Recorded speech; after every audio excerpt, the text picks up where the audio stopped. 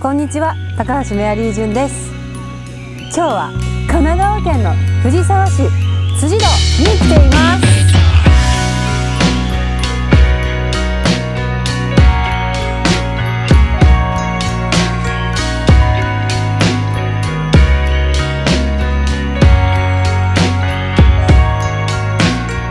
実はここは私が芸能界に入るきっかけとなった場所なんです。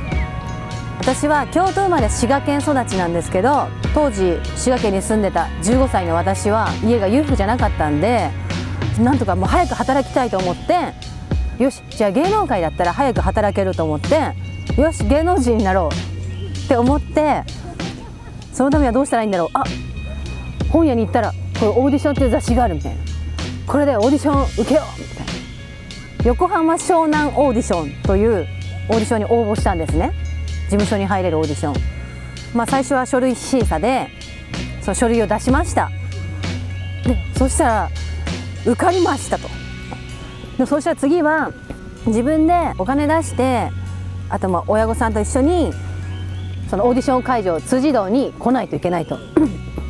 で も当時本当に貧乏だったので新幹線代がなかったんですよ。あお金ないしもういいやって諦めかけたんですけど、まあ、お父さんとかお母さんにも「もうあいいわ新幹線代かかるし行かんでええわ」って言ったんですけど次の日父が私の部屋のドアをこうノックして私の部屋とか妹との部屋なんですけど「お姉ちゃんいつ何がどんなきっかけでどんなチャンスを掴んでどんな奇跡を起こすか分からんから確かに新幹線は難しいけど車でよかったらお父さん送ってくれって言ってくれたんですよ。それでみんなで 車に乗って下道ですね。でこの辻堂の方に来ました。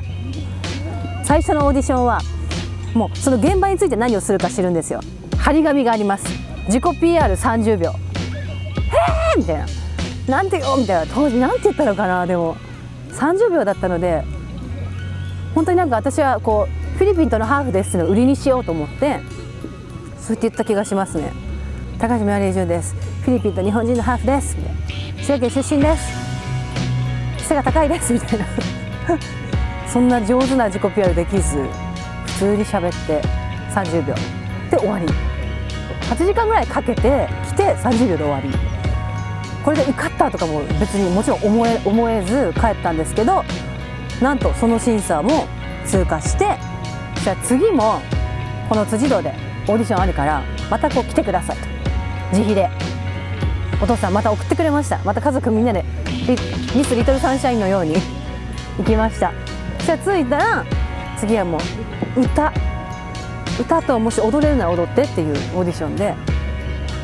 私ボアちゃんの「バレンチ」を歌ったと思いますね。もう周りすっごい踊れる人がいてうわこれはやばいわ超もうど素人ですしお金もなかったからレッスンとかも行ったことないしみたいな。けどなんと受かって最終審査が横浜ランドマークタワーであると。それは人数が限られてたんで新幹線代出たんです。ついに。でそのランドマークタワーで行われたその決勝戦でなんとグランプリを受賞して芸能界入りが決まったんです。その滋賀県からお父さんがこの辻堂まで車で送ってくれたから今の私がいるんですよ。だからそういう本当に大切な、うん、思い出の場所です。辻堂は。私がオーディションを受けてる間はもう家族は江ノ島の方の海の家とかが浜崎あゆみさんが海の家作られたりとかしてて。でそれで家族がこう見に行った見に行ったりしてて家族も旅行をすごい楽しんでくれたみたいでテレビの取材で一回来ましたね。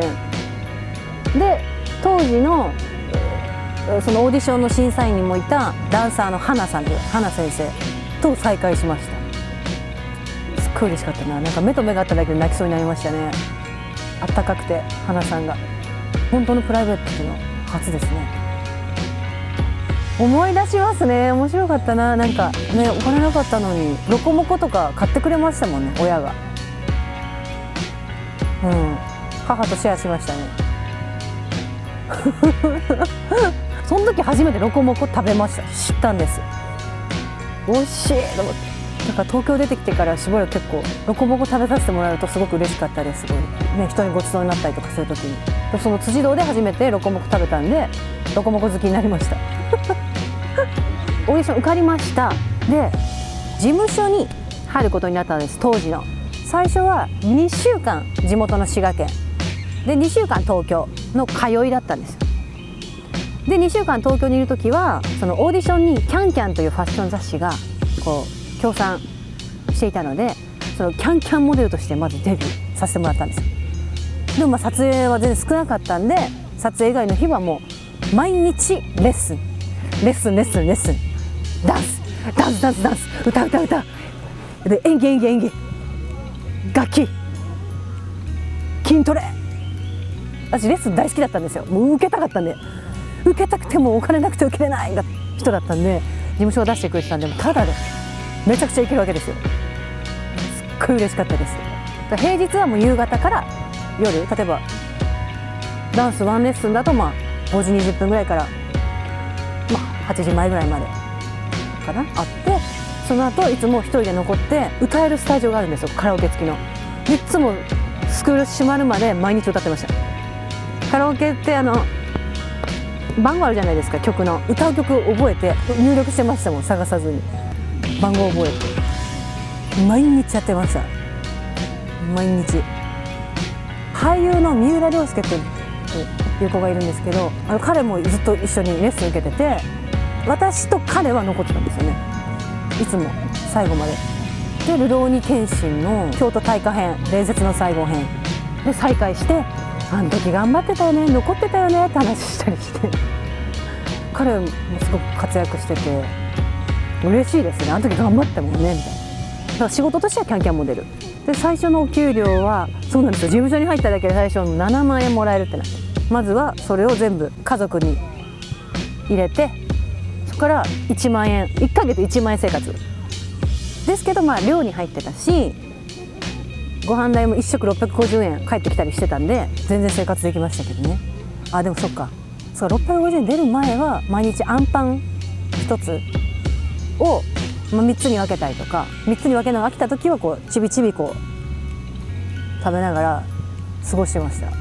でダンスレッスン受けてました。ガリガリでした。しかもこうパンをこう潰すんですよ。こう。アンパン。潰すとこ広がるから。薄くなるけど。だから私アンパン好きなんですよ今も。今でも大好きなんですよね。救世主というか。私がだから芸能界入って当時家は借金がすごかったんですけど、まあ、何年も何年もかかりましたが34年前ぐらいか。にやっと借金返せたんですよ。一つの夢が叶ったんです。その夢を叶えるきっかけとなったこの辻堂。今日はそこで夕日見たいです。いい夕日。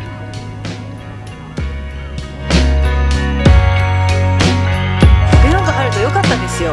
自分が普通でいたいたとしても本当に本当に人によくしてもらうなって思いますね。こうやって目の前に現れただけですっごい喜んでくれたりするわけですよ。何もしてないの。それってやっぱ芸能人だからだよなって思います。すごく嬉しいんで喜んでもらった時、まあ、活躍したりすればするほどその喜びも大きくなるのかなって思うと頑張ろうって思います。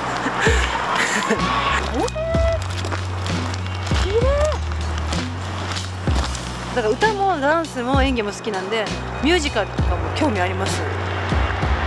うわやば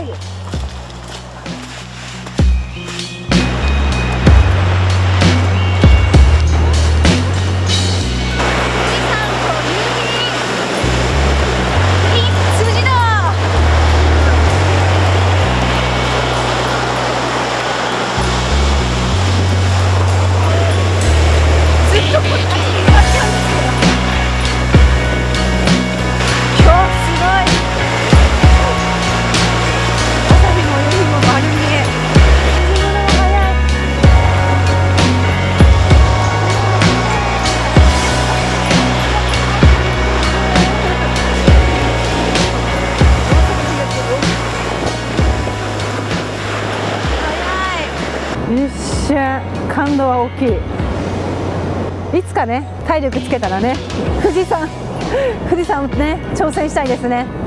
富士山夕日朝日。うわ 言っちゃった。トレーニングしなきゃ。やばい。こんないい日に辻堂来れてるなんてめちゃくちゃ嬉しいんですけど。思い出の場所に。これこそ本当家族に見せたいです。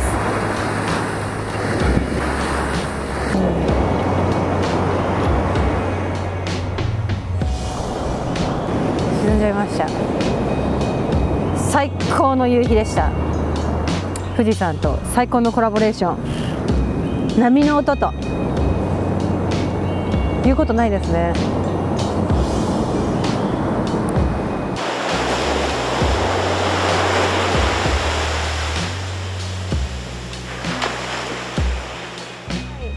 ということで辻堂で、えー懐かしい思い出話。大切な話。と素晴らしい。絶景夕日、えー富士山見ることができて本当に嬉しいです、えー皆さん、えーいかがでしたか？この動画気に入ってくださった方はいいね。とチャンネル登録よろしくお願いいたします。